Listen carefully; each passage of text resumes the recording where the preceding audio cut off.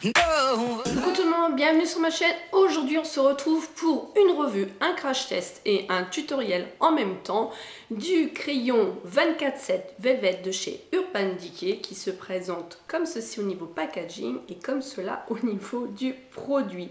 Je pense que vous les connaissez tous donc euh, j'ai eu la chance avec euh, j'ai pu demander euh, ce, ce crayon car j'adore la marque Urban Decay, vous le savez maintenant depuis que je suis sur YouTube depuis 4 ans. Je vous soulassais avec Urban Decay. Je vous ai fait un tuto juste derrière avec la palette Smoked parce que pour moi ce crayon là, et eh ben, je trouve qu'il va vraiment très bien avec cette palette là. J'ai voulu vous faire en fait un crash test et un tuto qui peut être à la portée de tout le monde parce qu'en fait ce crayon là euh, sert, euh, peut servir comme base pour faire un halo donc euh, quelque chose de, très fumé, donc de très fumé, donc appliqué sur toute la paupière et ensuite plus intensifié en rat cils. Moi j'ai voulu euh, vous faire un make-up de tous les jours, comme là où on porte tout en même temps le fumant. Donc c'est-à-dire que je l'ai appliqué et ensuite j'ai pris un embout mousse ou que j'aime beaucoup avec euh, ce crayon là. Je vous ai fait déjà un crash test, le Matter Smoky de Chemin Maybelline. Donc j'ai pris cet embout là et je l'ai fumé. Sur ce tuto, je vous ai utilisé que des produits euh, Urban Decay pour faire vraiment un tuto complet. Et je l'ai testé euh, donc en entier sur toute ma paupière euh, mobile avec donc cette palette là.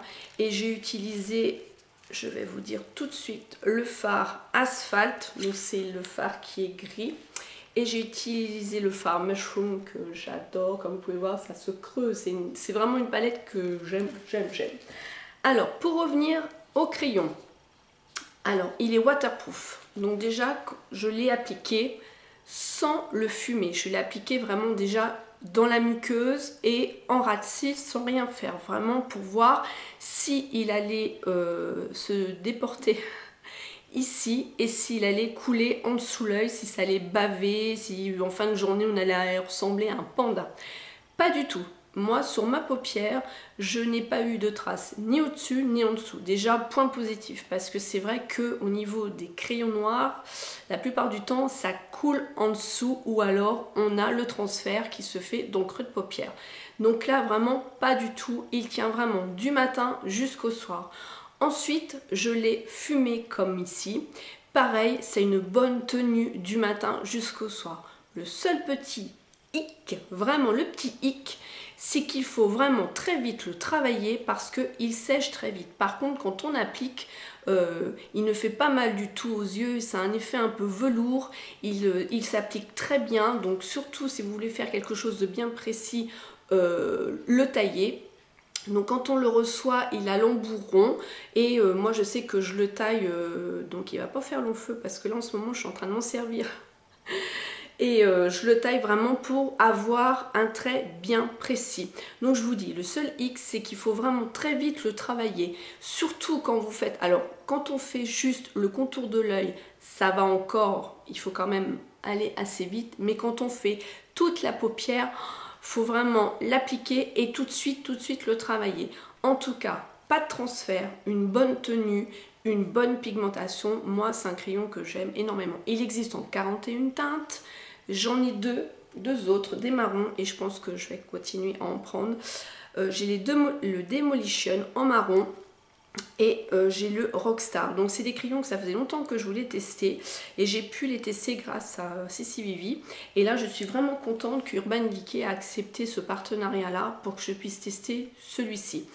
Ensuite je trouve que par rapport euh, aux crayons perversion qu'on peut avoir aussi euh, ça n'a rien à voir du tout au niveau de la texture du crayon. Celui-ci, c'est vraiment, mais euh, si vous voulez vous faire euh, un effet vraiment halo smoky, l'utiliser comme base, il est vraiment bien.